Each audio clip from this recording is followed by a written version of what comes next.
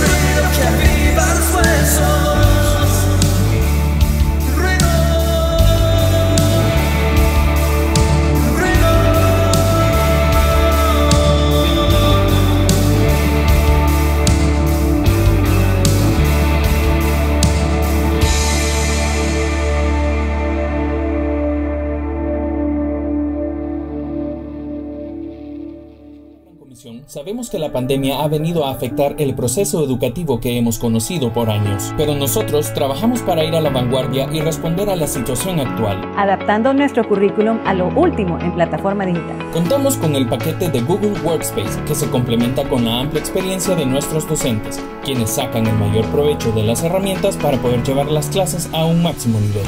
Sabemos que los estudiantes han tenido dificultades adaptándose a la modalidad virtual lejos de la interacción personal con sus compañeros y sus maestros.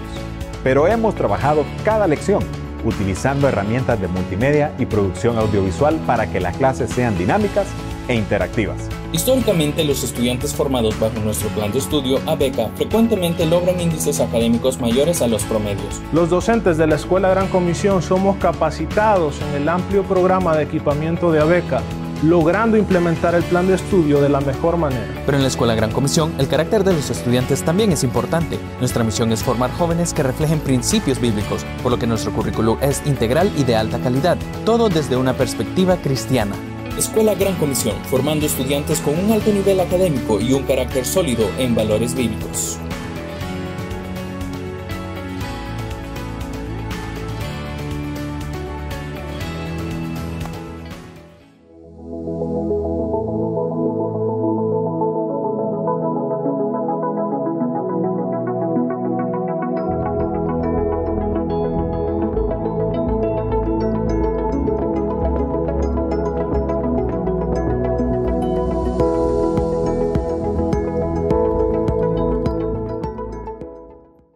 Recientemente salí de la casa a hacer unas diligencias y, en camino hacia un lugar ahí encontré un car wash y Dios me dijo, entra a ese lugar.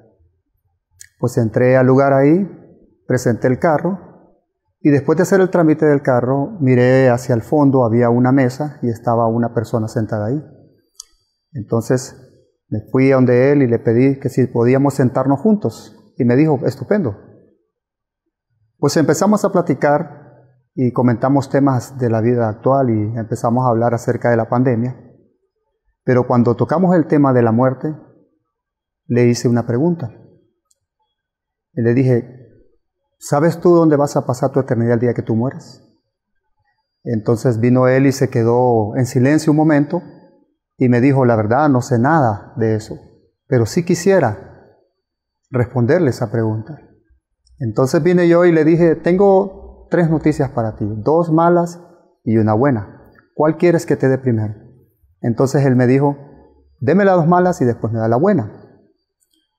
Cuando empezamos a hablar sobre el tema, entonces vine y le comenté un pasaje de la Biblia que está en Romanos 3:23, que dice que la paga del pecado es la muerte, es separación de Dios. Entonces le comenté de este pasaje y le dije, este pasaje dice lo siguiente, dice que el pecado nos separa de Dios. Y tú en tu condición de pecador, si te mueres, vas al infierno. Eso es lo que quiere decir. La segunda noticia es lo que dice Efesios, Efesios 2.8.9, que dice, porque por gracia sois salvos por medio de la fe, esto no de vosotros, es un don de Dios, no por obras para que nadie se gloríe. Ahí hay otra mala noticia, y la mala noticia es que las buenas obras o las obras no te pueden salvar ya sea que quieras hacer esto o quieras hacer aquello, cualquier cosa que quieras hacer pensando de que te vas a salvar, no lo vas a lograr, porque la Biblia lo dice, ahí dice, no por obras para que nadie se gloríe. Ahora bien, te voy a dar la tercera, la tercera noticia, esa es la buena, que Jesús vino y murió por ti en la cruz, murió por todo el mundo. Mira lo que dice Juan 3:16, porque de tal manera amó Dios al mundo, que envió a su Hijo unigénito, para que todo aquel que en él cree no se pierda, mas tenga vida eterna. Este pasaje lo que dice es que Jesús vino y murió por ti, por mí y por el mundo. Y si tú crees en Él, si tú crees lo que Él hizo en la cruz, tienes vida eterna. Entonces terminamos de platicar con Él y me despedí de Él. Al día siguiente recibo un mensaje donde Él me dice, he estado pensando lo que hablamos ayer de la Biblia y en mi mente ha estado rebotando todo lo que hablamos. Me gustaría que siguiéramos la plática, me dijo él a mí. Y yo le dije, estupendo, nos vamos a poner de acuerdo. Yo quisiera preguntarle a usted, ¿Usted sabe dónde va a pasar su eternidad el día que usted muera? Si no lo sabe, le tengo una buena noticia. Jesús vino y murió por usted en la cruz y nos perdonó. Jesús cuando estaba en la cruz dijo, consumado es. Eso significa que el pecado del mundo, el pecado suyo y mío, fue pagado ahí. ¿Le gustaría hacer una oración conmigo? Por favor, incline su rostro. Repita conmigo esta oración. Señor Jesús, te agradecemos por haber venido a morir en la cruz y perdonar nuestros pecados. Creo que tú moriste por mí. Dígale, creo que tú moriste por mí. Y acepto tu perdón. Y creo que el día de mañana, cuando muera o el día que yo muera, estaré contigo por una eternidad. Que tenga una feliz noche.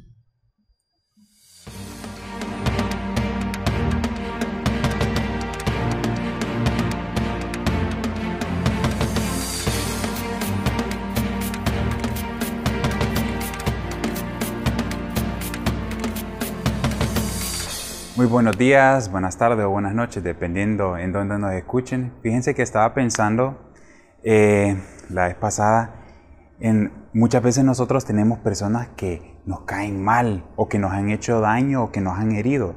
Yo creo que yo quisiera que en este momento usted se ponga a pensar en alguna persona que usted ah, lo mire, puede ser en su trabajo, puede ser en su casa, puede ser algún vecino que no lo soporta, que le cae mal, que en realidad esa persona es una mala persona. Yo creo que muchos de nosotros hemos lidiado con ese tipo de personas. Déjeme contarle una historia, eh, pues no tan reciente, pero que me pasó a mí. Fue de que yo estaba diseñando una casa en una residencial y pues comenzamos con los diseños. Ustedes saben, yo al principio, qué emoción aquí, empezando a diseñar con los clientes. A los clientes les había gustado ya el diseño. A todo eso no es, un proceso corto, sino que era un proceso bastante eh, largo y, a veces hasta complicado. Pues al final eh, yo tenía que estar en contacto con, con, los permisos de la alcaldía, con los lineamientos de construcción. Ya todo estaba encajando bien, ya, ya teníamos todos los permisos, todo, todo estaba en marcha. y cuando nos fuimos a la residencial a meter los permisos, pero ya como digamos, ya para construir, no me llama una secretaria y me dice que es la secretaria de la residencial, ¿verdad? Y me dice, fíjese que ese diseño no pasa. Y yo, ¿por qué? Porque no pasa, si pasa todos los permisos de construcción, yo aquí ya tengo el permiso de construcción, no hay ningún problema. No, pero es que no pasa, porque fíjese que la residencial tiene unos ciertos reglamentos que, ocupa de que su diseño cumpla y no pasa. Ah, bueno, no sabía, entonces pásenmelos y ya me los dan y me doy cuenta que es completamente distinto a lo que yo tenía diseñado, ¿verdad?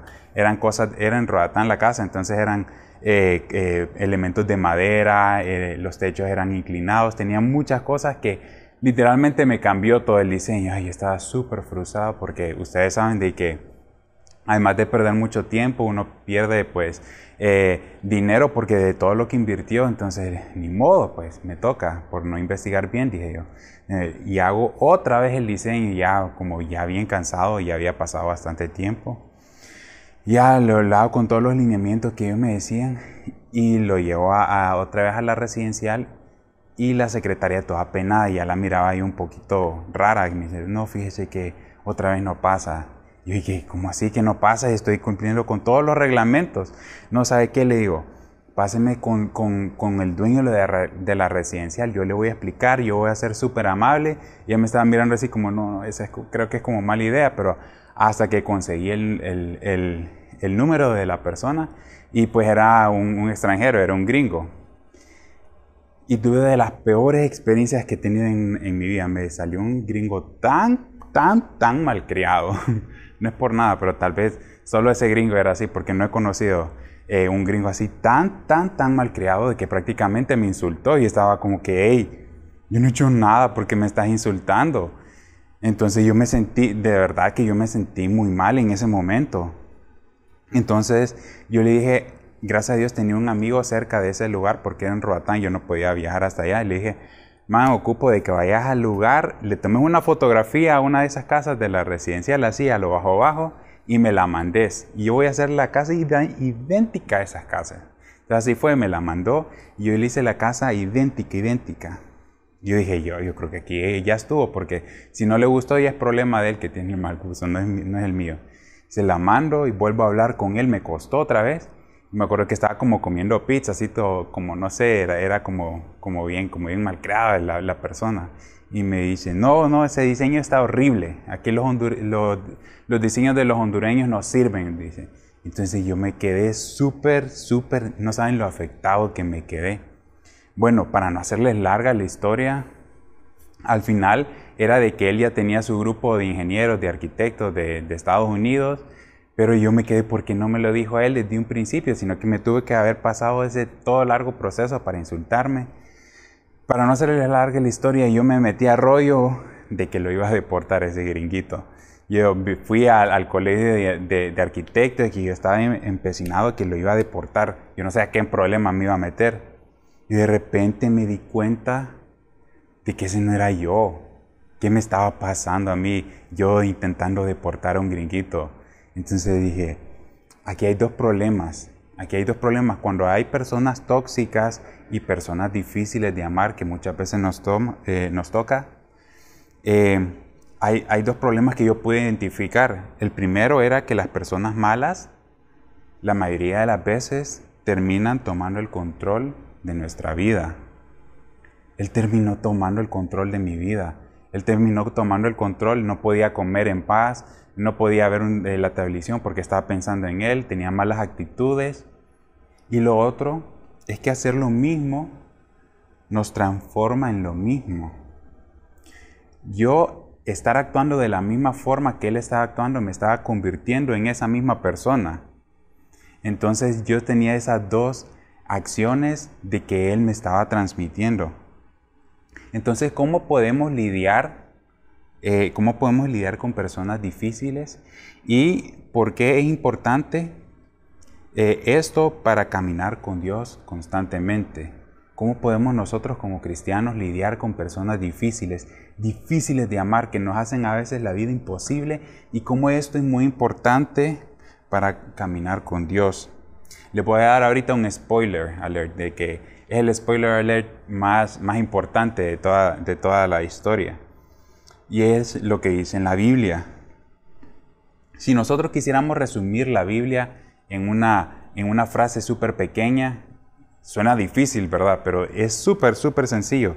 Y está en Gálatas 5:14, dice, pues toda la ley puede resumirse en un solo mandato. Dice, ama a tu prójimo como a ti mismo. Y ahí yo me di cuenta que esa persona, por más mal que me caía, por más mal que me haya hecho pasar, era mi prójimo. Así como mi esposa es mi prójimo, como tal vez mi sobrino es mi prójimo o mis vecinos o mi mejor amigo es mi prójimo, también nuestros enemigos son nuestro prójimo. Dios dice que lo tenemos que amar. Lucas 6:32, mire lo que dice. Si solo aman a quienes lo aman, ¿qué mérito tienen? Hasta los pecadores aman a quienes los aman a ellos. Si yo me pongo a amar a los que solo me aman, ¿qué mérito tiene? Dice la Biblia. Si eso hasta los pecadores lo hacen el que de verdad ama, ama a las personas difíciles, a nuestros enemigos. Amar al prójimo es la base para tener una vida plena. Yo me puse a pensar, yo creo que amar al prójimo es la base para tener una vida plena y especialmente amar a las personas difíciles. Mire que tener una vida plena, yo me lo imagino así como tener una vida feliz, con propósito y llena de bendición. Si usted hoy le digo, quisiera tener una vida feliz, con propósito y llena de bendición. Yo creo que todo el mundo diría que sí, ¿verdad? Creo que a nadie le gustaría no tener una vida, una vida plena. Entonces Dios nos manda a que amemos a nuestro prójimo y por ende vamos a poder tener una vida plena. Y no es fácil, no va a ser fácil. Todo, todo lo bueno cuesta bastante y tal vez por ahí pasa amar a nuestro prójimo y amar a las personas difíciles. Vamos a leer ahorita una historia en la Biblia de que me recordó mucho de esto de, lo que les estoy hablando, de una persona bien difícil que se encontró con una otra persona bien apacible y cómo esa persona apacible pudo lidiar con esa persona difícil. Mira, lo podemos encontrar en 1 Samuel 25.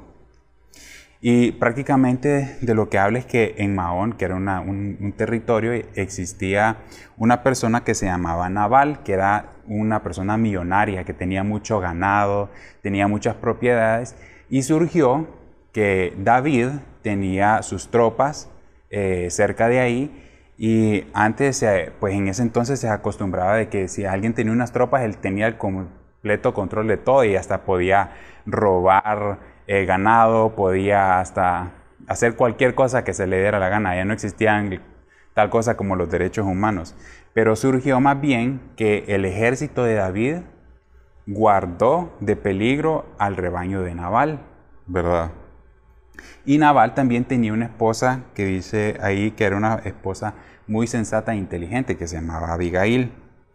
Entonces cuando David eh, se dio cuenta de todo eso, dijo, bueno, eh, voy a mandar unos mensajeros míos a la tierra de Nabal y le voy a decir de que, pues que comparte un poco de lo que él tiene, de lo mucho que él tiene con, con, mis siervos. Yo creo que nada pierde. Entonces viene, mira lo, que le manda la carta y le dice, paz y prosperidad para ti, para tu familia y para todo lo que posees. Me dicen que es el tiempo de la esquila. Mientras sus pastores estuvieron entre nosotros cerca de Carmelo, Nunca les hicimos daño y nunca se les robó nada.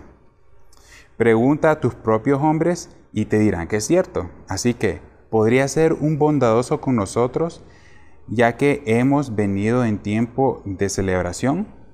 Por favor, comparte con nosotros y con tu amigo David las provisiones que tengas a la mano. En otras versiones dice, las provisiones que te sobraron, pues, o sea, lo que te sobraron, por favor, compartirlo con nosotros un poquito. Los hombres le dieron este mensaje a Nabal en nombre del rey de David y esperaron la respuesta.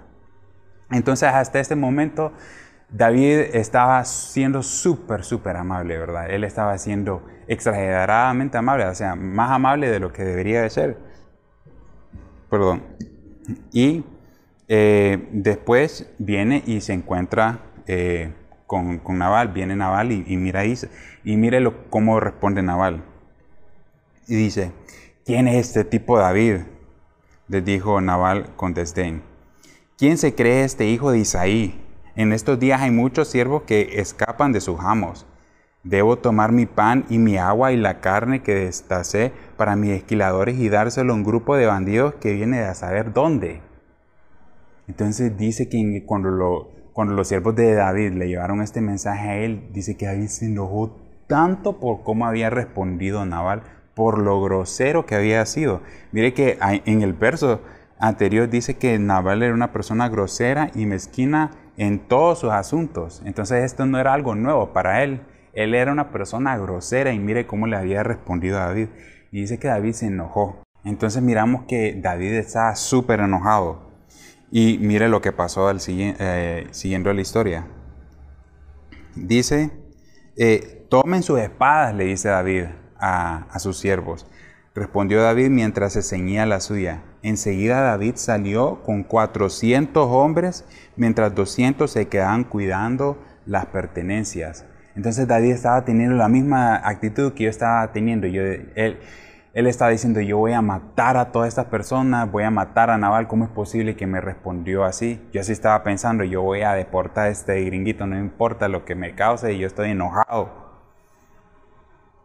Pero gracias a Dios, Naval tenía una, una esposa eh, muy sabia y dice de que cuando ella se dio cuenta que era Abigail, se dio cuenta de que todo eso estaba pasando, dice que agarró comida, agarró, em, agarró fresco, agarró agua y se lo llevó a David para calmarlo. Y le dijo que por favor, por favor lo perdonara, que Naval era así, que él era bien enojado. Imagínense cómo le dijo la esposa, que no le parara bola. Entonces eh, viene y David eh, responde, alabado sea el Señor, Dios de Israel, quien hoy te ha enviado a mi encuentro. Gracias a Dios por tu buen juicio, bendita seas, pues me has impedido matar y llevar a cabo mi venganza con mis propias manos. Yo quiero que en esta historia identifiquemos nosotros quién es nuestro naval, pero también quién puede ser nuestra Abigail. ¿O qué cosa puede ser nuestra Abigail? Puede ser una señal de Dios Entonces aprendamos a identificar y por eso es el primer punto que es aprendamos a escuchar y perdonar. Aprendamos como David se calmó, escuchó y perdonó. Éxodo 14, 14 dice, el Señor mismo peleará por ustedes, solo quédense tranquilos. Dios quiere muchas veces que vayamos más allá de solo perdonar en nuestro corazón. Eso es bueno. Que nosotros perdonemos en nuestro corazón es bueno. Pero muchas veces Dios quiere que vayamos más allá. ¿A qué me refiero con esto? Mire lo que dice en Romanos 12, 17 al 21, que le está, le está escribiendo Pablo a la iglesia. Nunca devuelvan a nadie mal por mal Compórtense de tal manera que todo el mundo vea que ustedes son personas honradas. Hagan todo lo posible por vivir en paz con todos. Queridos amigos, nunca tomen venganza. Dejen que se encargue la justicia, justa ira de Dios, pues dicen las escrituras, yo tomaré venganza. Yo les pagaré lo que merecen, dice el Señor. Y en el 21 dice, no dejen que el mal los venza, más bien venzan el mal haciendo el bien. Mire cómo dice, no dejan que el mal los venza, más bien venzan el mal haciendo el bien. Dios muchas veces quiere que nosotros perdonemos en nuestro corazón, pero como de verdad vamos a solucionar los conflictos, es haciéndole el bien a la persona que nos hizo el mal. Es bueno que nosotros perdonemos en nuestro corazón, pero Dios, cuando hay un conflicto, recuerde que Él no solo está interesado en que usted sea sanado, sino que la otra persona también sea sanada. Y puede ser que Dios lo esté utilizando usted para que la otra persona sea sanada. Así es como de verdad vamos a solucionar nuestros problemas. ¿Cómo puedo entonces caminar con Dios constantemente? Primera de Juan 4, 8 dice, el que no ama no ha conocido a Dios porque Dios es amor. Si de verdad quiero caminar con Dios, tengo que estar dispuesto a amar y amar a las personas que son más difíciles amar. Porque si yo amo a las personas más difíciles, lo demás va a venir por añadidura. Mire que hace poco, eh, bueno, hace tal vez un año, estuve compartiendo de que yo, empezaba a aprender a hacer unos pasteles ahí. Pues fíjese que le voy a contar que ya se me olvidó ya me olvidó porque no, no practico, ya, ya, se me olvidó, no, no sé cómo, cómo hacer la mezcla, ya nada. Bueno, el amor, escuche bien esto, el amor se olvida cuando no se practica. El amor se olvida cuando no se practica. Así que si usted no ha estado amando últimamente, es posible que no lo ha estado practicando bien. Y vamos a cerrar con esta frase que se llama EPAR y quiero que usted se la memorice siempre. Significa escuchar, perdonar, amar y repetir. Escuchar, perdonar, amar y repetir. Escuchar, perdonar, amar y repetir. Si hacemos estas cosas, tenga por seguro que vamos a cambiar este mundo, vamos a cambiar Honduras, vamos a cambiar nuestra sociedad, no echándole odio a las personas, sino que amando a nuestros enemigos. Así que Dios, gracias por este tiempo. Gracias porque tú eres perfecto en todos tus asuntos. Danos mucha sabiduría y que podamos amar a las personas tal y como tú nos amaste a nosotros. En el nombre de Cristo. Amén.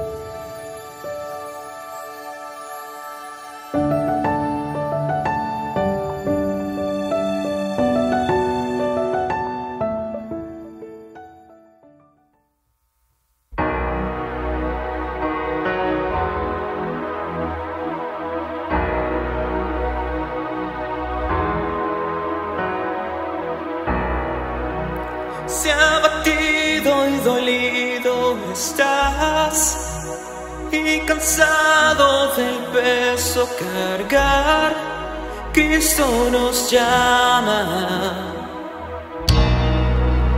Si al final del camino estás, sin saber hacia dónde mirar, Cristo nos llama.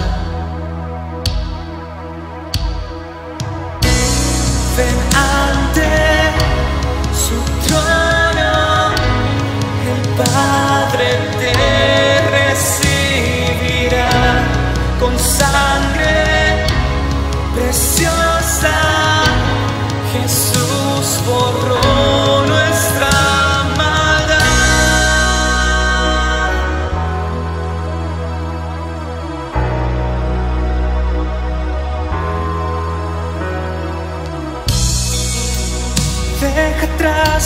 vergüenza y pesar. Ven a Él, ya no esperes más. Cristo nos llama. Trae toda tristeza al altar. Nueva vida Jesús te dará. Cristo nos llama.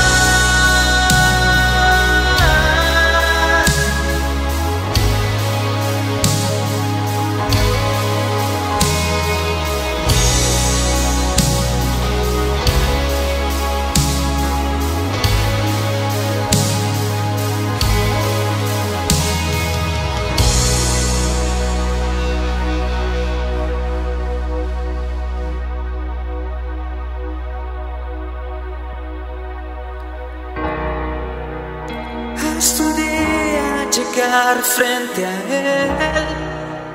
De su amor a todos contaré